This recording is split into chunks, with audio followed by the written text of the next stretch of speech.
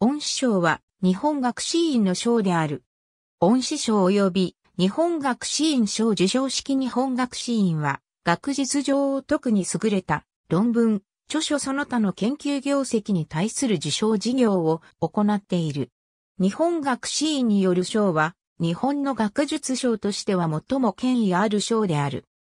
恩師賞は日本学士院による賞の中でも特に権威あるもので、本来は日本学士院賞とは別個の賞であったが、1970年からは毎年9件以内受賞される日本学士院賞の中から特に優れた各部1件ないし2件以内に皇室の貸金で受賞されるものとなっている。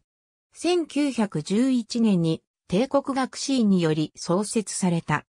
1947年までは帝国学士院の賞であり、1948年より日本学士院の賞となった。1949年に昭和天皇が受賞式に行幸し、以来、天皇が受賞式に臨席するのが慣例となった。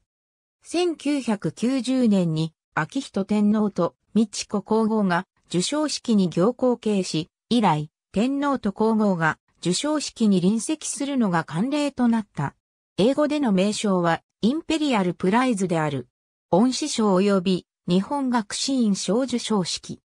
金城天皇、正子皇后臨席の下で、日本学士院院長園や広志が、東京大学大学院工学系研究科教授、藤田誠に、恩師賞と日本学士院賞を授与している。ありがとうございます。